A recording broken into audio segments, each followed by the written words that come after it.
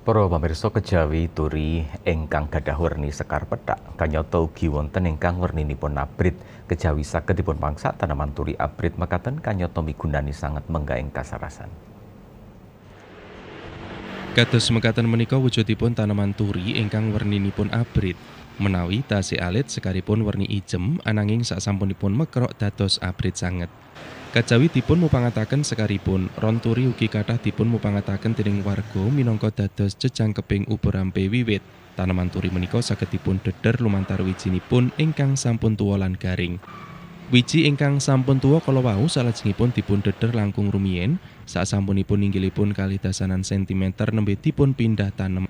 Kathah tiyang ingkang mangertosi bilih sekar turi menika namung eca dipun mangsak kemawon Kamangka sejatosipun sekar sarta perangan tanaman turi menika migunani sangat menggaing kasarasan manungsa. Ing donyaning husada herbal, sekar turi kathah dipun padosi tiyang.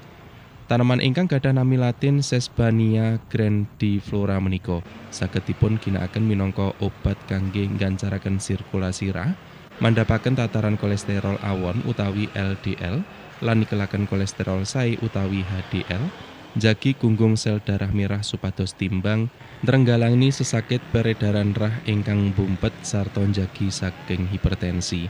Kajawitipun mupangataken kangge bahan janganan sarta herbal kanyata tanaman turi ingkang dipun tanem ing sak pinggiring mergi menika ugi dados salah setunggaling refugia.